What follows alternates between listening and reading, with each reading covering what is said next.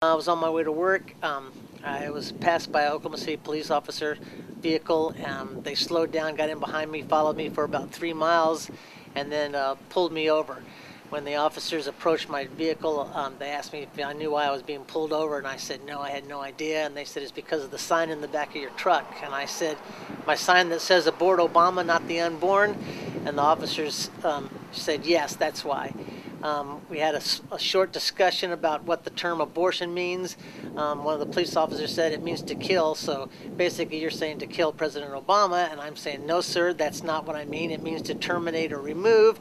And because of his um, overturn of the partial birth abortion bill, I put that sign up. This isn't a sign about um, killing our president. This is a sign about um, uh, abortion and, and what it is.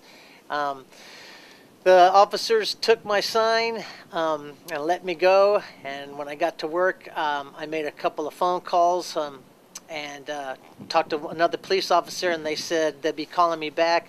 Uh, a couple hours later, I got a call from a supervisor, and he um, says he wants to know my location so he can return my sign to me. We don't think it was a good decision to take the sign, um, uh, and, and that's why we quickly returned it um, and, and gave it back to the owner.